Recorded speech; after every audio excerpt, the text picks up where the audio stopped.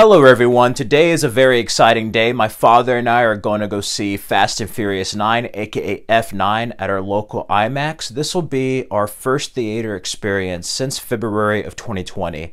The last film my father and I saw was 1917 on February 12th of 2020. And as you know, the COVID pandemic changed everything last year in the year of 2020. We're slowly starting to return to normalcy.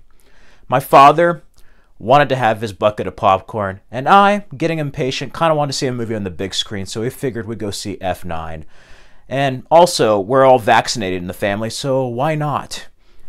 This is very exciting. I did not think I would experience another film in the cinema after last year, and for health reasons, I decided not to go to the theater at all last year.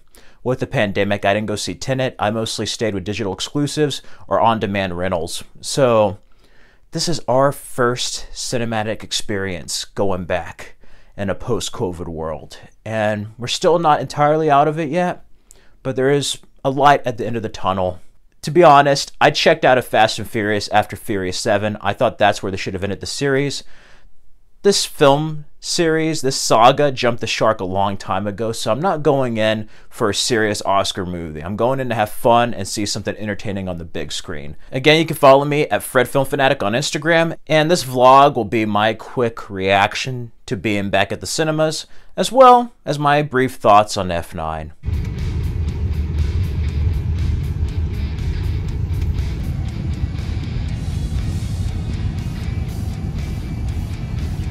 Okay, so here we are at an AMC cinema.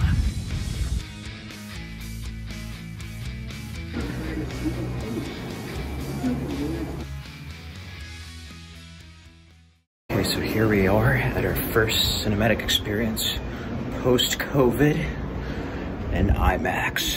Fast and Furious 9. It feels good to be back.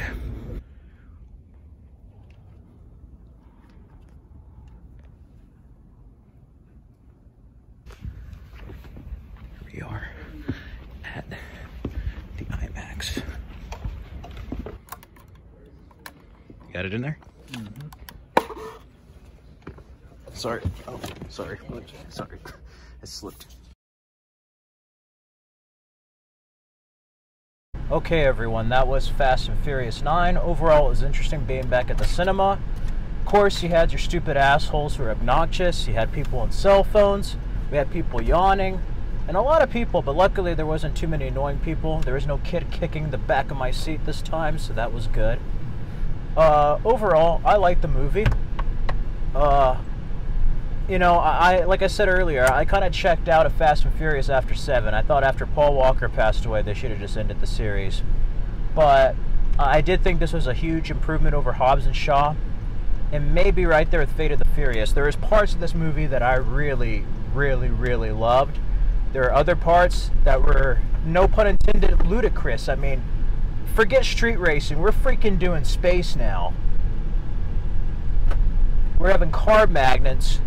Oh, and let's not forget Vin Diesel driving off a cliff and using a rope of a broken bridge as a zip line. Overall, I, I think this almost feels like a superhero universe in itself. This almost feels like a superhero, like Marvel franchise now. Anyway, we got this Fast and Furious bucket driving back home. Yeah, Tyrese Gibson's character is like, we're invincible. There's something up. We're not just lucky. And I think that's part of the problem. It's not like the old action movies of the 80s and 90s where when somebody was in a car crash or jumped somewhere, they would get hurt. I don't know if you guys remember Indiana Jones, like when he was in the back of a truck, he was bleeding. He had bruises and scrapes, and everybody here is just like a Looney Tunes cartoon at this rate. Suns in my eyes.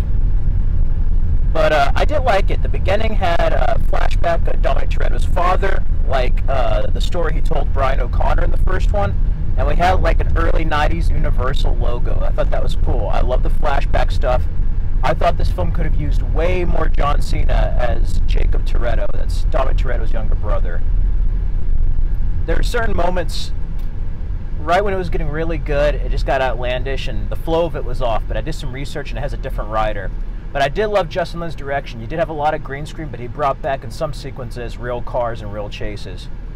It's just, I think Fast and Furious, like any other franchise, when it goes on so long, you start to become a self parody of yourself or a caricature of yourself. And it's happened to some of the best horror franchises like Nightmare on Elm Street, if you see how those films started out versus how they ended. I think the next one should be the last Fast and Furious. I said they were just going to do two more. I think they need to end it on a high and kind of go back to its roots. But this did one thing that I thought the other one should have done is focus more on Dominic Toretto. And we do get some, to, uh, some hints to Brian O'Connor, Paul Walker's character. But overall, I mean, I wasn't expecting an Oscar-worthy movie. A lot of people were like, "This killed the franchise and jumped the shark." It was stupid. But granted, it was stupid in the last two movies too, and even to a degree, Furious 7. I mean, just look at that Dubai scene where they crash a car, go 0 to 100 in a room, and then crash through not one, but two buildings. This series jumped the shark a long time ago. It's kind of hard to believe that it's been going on 20 years and that it started with like illegal street racing. We went from illegal street racing to like a poor man's Mission Impossible. anyway, overall, I thought it was an entertaining film. I'm just trying to decide if I like it more than Mortal Kombat. I, there are certain moments I like better than Mortal Kombat, but overall, I think the movie's kind of weak, even though there's moments that are just outstanding. Moments that really stand out. I have mixed feelings on it. It is what it is. It's a popcorn flick. So if you see it on HBO or somewhere or TNT, it'd be good to watch, but don't expect don't expect the Godfather or Citizen Kane over here. But uh, overall, I liked it. It was entertaining, and it was quite the experience being back in the cinema after more than a year, really. I don't miss the people, but I do miss the cinematic experience, if that makes sense. Although, people, if you're going to be on your damn cell phone the whole movie, sit your ass at home and look at your cell phone when you're watching HBO Max. Seriously. Like, fuck off and stay at home. like, seriously. Do us all a favor. But uh, besides that, uh, it was long, but we saw a Jurassic World teaser looked interesting. I don't know what to think. It started like, I think in the Jurassic period, and then it went to present day. So you're gonna have dinosaurs rule the earth. Uh, the only thing I was disappointed at in the IMAX feature we went to is that we didn't see the Halloween Kills teaser, but we did see Snake Eyes. We saw M. Night Shyamalan's movie Old. That looked wicked, and other stuff. Of course, he had 30 minutes worth of previews. But uh, what can I say? It's good to be back. And yeah, that's our brief experience at the movies in this summer heat.